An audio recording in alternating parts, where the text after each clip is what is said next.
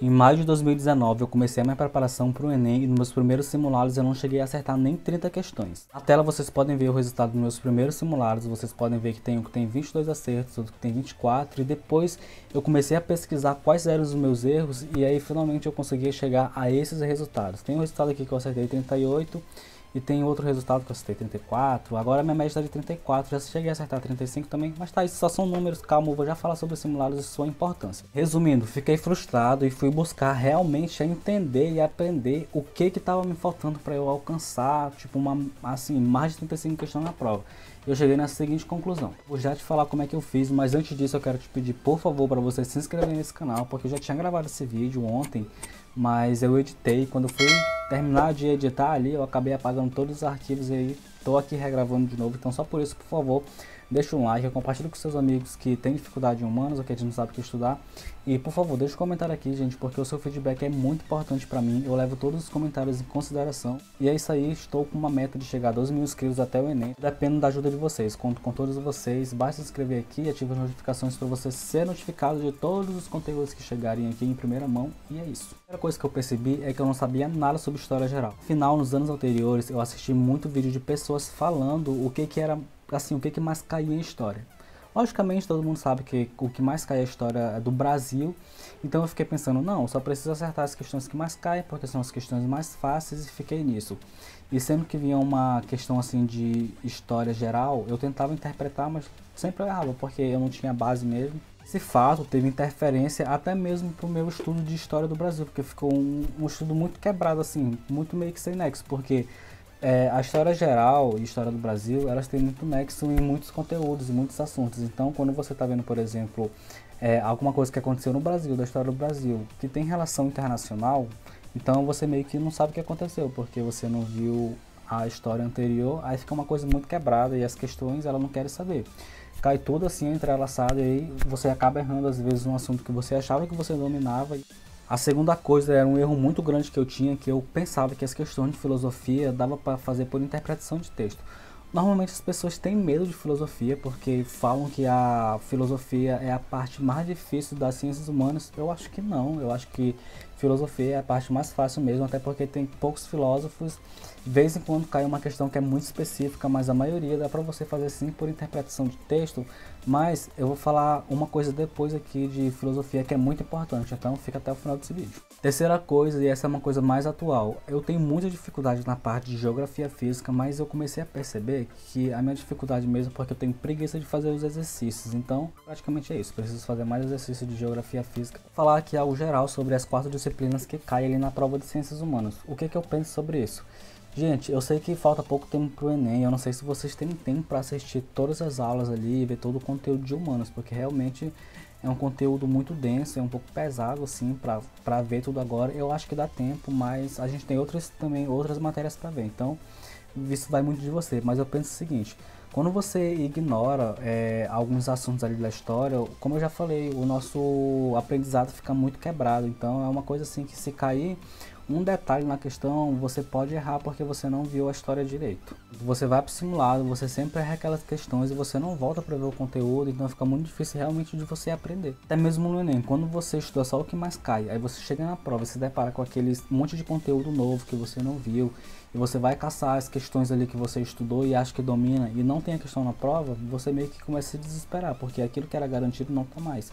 Foi isso que aconteceu no ano passado comigo e assim com muita gente. Cadê era Vargas? Cadê ditadura militar? Cadê mais uns 10 conteúdos que sempre caiu na prova que não estão? Muita gente perdeu muitas questões porque ficou preso ali e não caiu. Eu acredito que o que mais cai, sim, você deve ter tudo aqui na palma da sua mão. Você deve realmente fazer aquelas questões com propriedade, mas você não pode esquecer do geral porque uma coisa auxilia a outra. Agora, se você me perguntar, dá tempo de ver tudo para humanas? Assim, eu acredito que depende muito da bagagem de conhecimento que você tem. Eu, por exemplo, já vi muita história do Brasil, então eu estou finalizando agora a parte de história geral e a parte de história do Brasil, eu só vou revisar aqueles assuntos assim que eu acho que eu não lembro. Então, dá realmente para eu ver, eu acho que sim, na parte de história filosofia, já, já finalizei praticamente é, geografia física, eu preciso ver muita coisa, mas agora a parte de geopolítica e dos outros assuntos ali, tipo de agricultura, para mim tá ok, então só vou dar uma leve revisada mesmo, mas isso depende muito, como já falei, de você. Se você é uma pessoa que tem muita dificuldade, assim, eu não sei se isso depende de cada pessoa, não sei se dá tempo. É, realmente, gente, eu não sei o que indicar. Se você quer um curso, por exemplo, que seja medicina, assim, eu indicaria que você visse todo o conteúdo. Agora, se você quer um curso que é não tão concorrido, não sei se você precisa ver tudo. Eu acho que dá assim para ir com o que mais cai.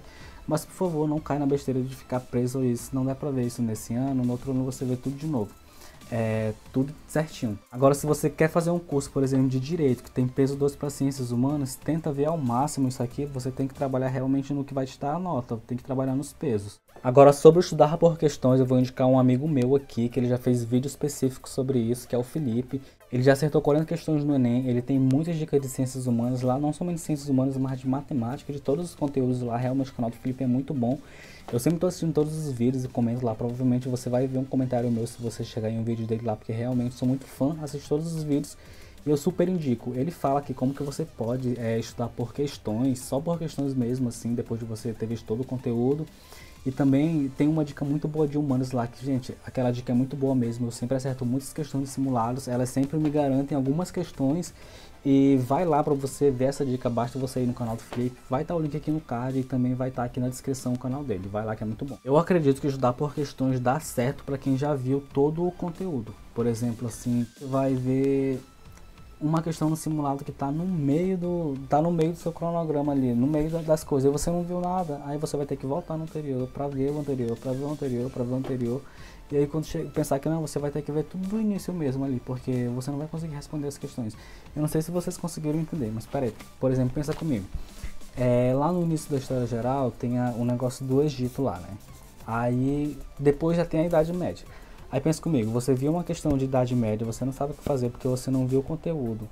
Para você ver esse conteúdo de Idade Média, para você entender a Idade Média, você tem que ver o que, que veio anterior a isso. O que, que veio anterior à Idade Média? Veio a Antiguidade. Então, assim, mano, vê logo tudo de uma vez, que é mais fácil. Resumindo tudo que eu falei, vai ficar um estudo quebrado, vai ficar um estudo um pouco defasado, então é melhor que você veja tudo logo, que fica muito legal.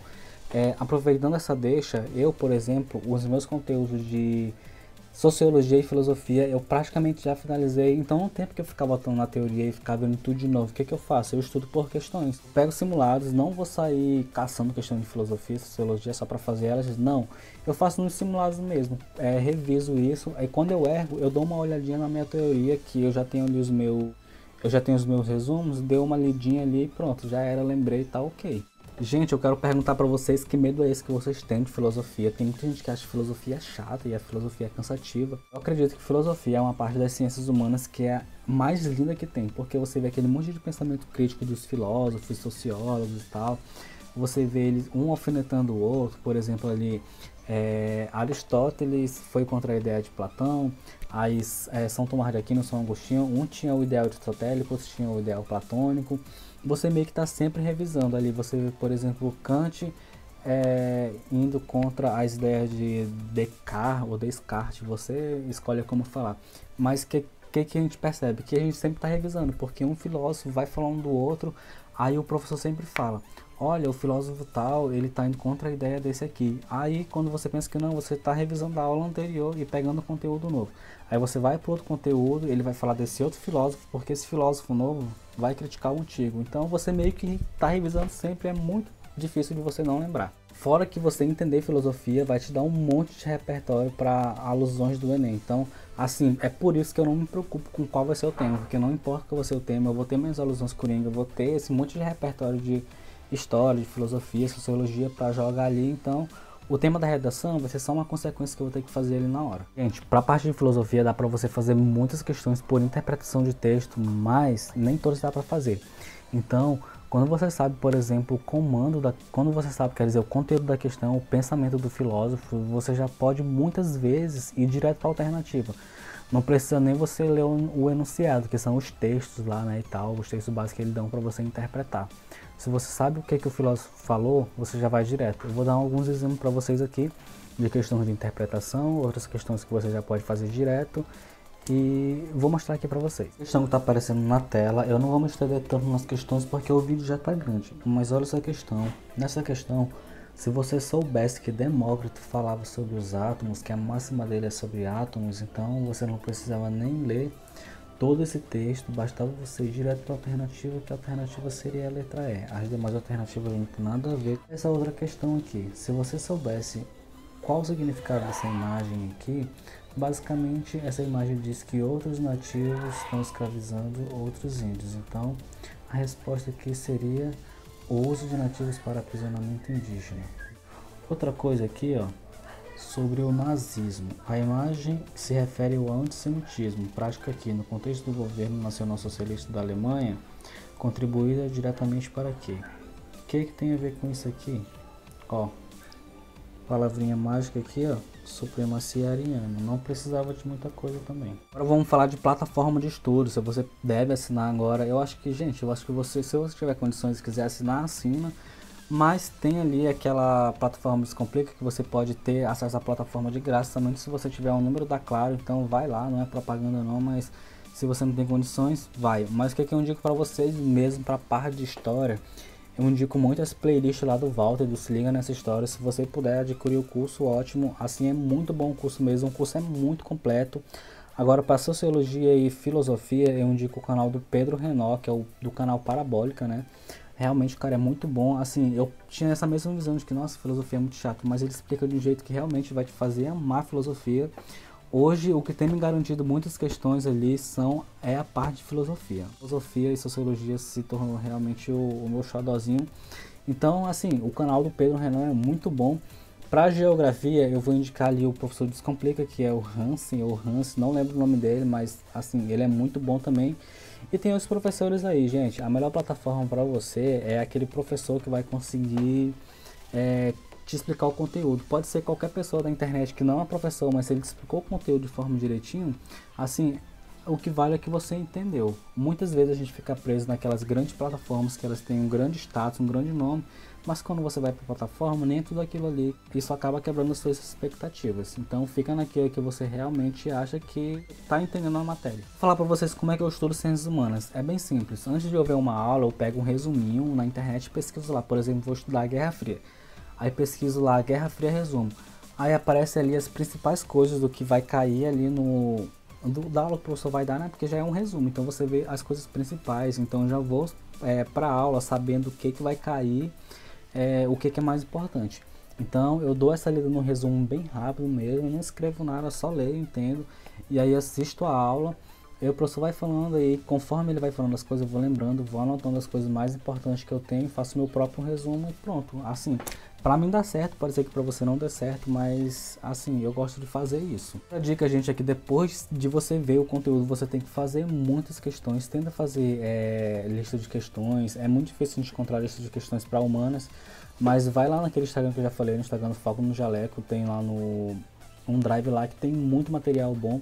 Então você pega bastante simulado lá, você consegue treinar, tem simulado pro ano inteiro. O que não vai faltar lá é simulado. Faça simulado, faça bastante questões, você vai sim conseguir pegar o nível da prova ali, quer dizer, o formato das questões. E você vai ver que tudo se repete. Afinal, a parte das ciências humanas não tem muito que inventar. Não é como a matemática, por exemplo, que eles vão ficar inventando um monte de jeito ali para jogar as matérias pra gente. Até na matemática se repete, então nas ciências humanas é tipo assim, pior, se repete muito as questões e são fatos históricos, não mudam. O que é aquilo para cair é o que vai cair, gente. Não tem que inventar. Falei sobre simulados. Simulados eles servem para a gente analisar os nossos erros e trabalhar em cima disso. Não adianta você ficar, ficar fazendo muito simulado e depois que você terminou o simulado, corrigiu ele assim só para ver o que, que você acertou e aí você deixou o simulado para lá e não viu o que, que você está errando.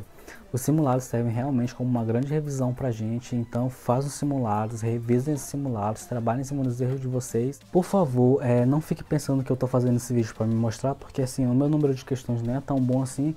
Eu resolvi fazer esse vídeo só para, sei lá, tentar abrir a mente de quem está tendo o mesmo problema que eu tive, mas se, como eu já falei, se dá certo para você estudar desse jeito, muito bom, continua estudando do jeito que você gosta, do jeito que dá certo para você. A minha dica não é suprema, e você faz o que você quiser da sua vida, assim. Mas eu tô falando uma coisa que dava errado para mim e que eu reverti isso e que tem dado certo agora. A principal ideia desse vídeo é que você saia dele pensando que se prendendo que mais cai é bom, mas não é tão interessante. Que é bom realmente você ver todo o conteúdo para você entender é, com firmeza as questões, você entender os contextos. E isso vai te ajudar muito e te auxiliar muito na prova e, e até pro seu conhecimento geral mesmo. Por hoje o vídeo de hoje foi esse, eu espero que você tenha gostado. Gente, releva qualquer besteira que eu falei aqui. E eu só vou te pedir mais uma vez para você se inscrever nesse canal se você não é inscrito. Deixa aqui um comentário aqui embaixo, deixa um like também, porque isso ajuda muito a YouTube entender que vocês estão gostando e que ele vai recomendar para outras pessoas. Se você não gostar desse vídeo também, você pode deixar um, like, um dislike aí, tá tudo bem, eu não ligo. E é isso aí, até um próximo vídeo. Tchau. Se você chegou até essa parte do vídeo, parabéns, eu realmente gosto muito de você. Aqui tá o meu cronograma de filosofia, eu tô usando aquele do Felipe Araújo lá, né? Tá, essa aqui é a parte de filosofia. Aqui tem a parte de sociologia, tem muita coisa aqui que realmente você não precisa ver desse cronograma aqui, como por exemplo Constituição Cidadã e um monte de coisa aqui, mas os principais que eu indico é vocês verem realmente os sociólogos. Tá, vamos lá. Parte de geografia tá texto, né? Tem bastante coisa aqui que eu vi, que eu entendo, então eu não tô dando enfoque para isso agora porque nos simulados eu acerto e eu lembro de muitas coisas. Então eu só vou dar uma leve revisada, eu tô preocupado mesmo é com geografia física, que é essa parte aqui, ó. Para vocês verem aqui que eu vi poucas coisas, isso aqui eu vi, isso aqui também. Então realmente meu cronograma de geografia tá triste. Aqui eu lembro bastante coisa, só vou dar uma revisada mesmo, não tão preocupado. E aqui a minha parte de história geral, eu tô vendo a parte da história geral, tô quase finalizando ela para vocês verem que era para eu ter finalizado a Segunda Guerra Mundial até dia 8 de agosto. E hoje nós já estamos em, quase em outubro. E eu vi Guerra Fria ontem inclusive, tá faltando eu marcar isso aqui, ok, mas é isso aí. A parte de história, de história do Brasil, como eu falei para vocês, eu tenho uma, uma base, então vai ser bem mais fácil para eu ver porque eu já tenho essa base e é isso, gente. Esse é o meu cronograma para vocês e esse é o vídeo e até mais.